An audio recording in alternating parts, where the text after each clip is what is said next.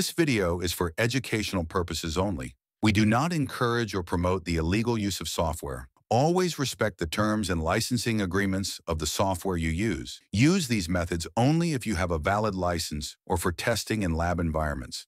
Welcome. In this video, we're going to activate Windows in Office. First, open PowerShell as administrator. This is very important. Once inside, type the following command that appears on screen and run it. This will open a new CMD window with a menu like the one you're seeing. To activate Windows, simply type the number one and press enter. You might need to restart your computer for the changes to take effect. Now, if we want to activate Office, it's exactly the same. Just choose option number two and follow the same steps. As we can see, the system is now activated correctly. In the case of Office, we can check by opening any program like Word or Excel.